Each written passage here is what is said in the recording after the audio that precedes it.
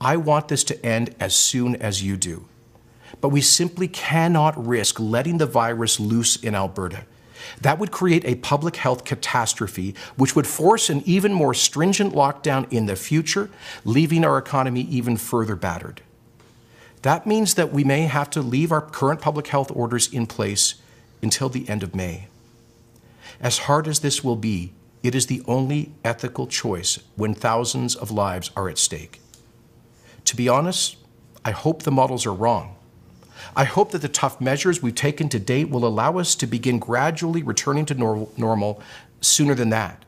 But that all depends, it all depends on how Albertans act in the weeks to come.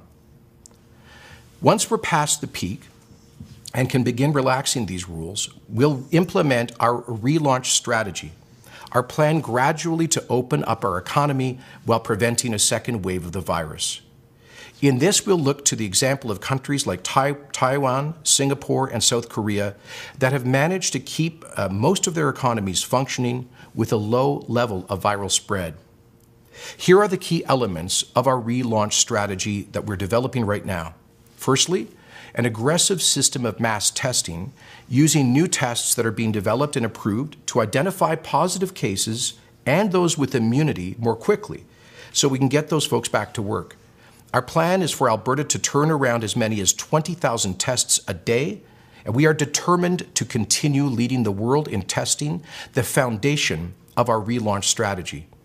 Number two, more precise tracking of, the, of close contacts of those who are infected.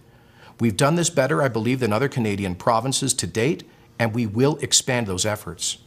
Number three, strong border screening. I believe it was a mistake for Canada to wait so long to close our borders, especially from countries with high levels of infection.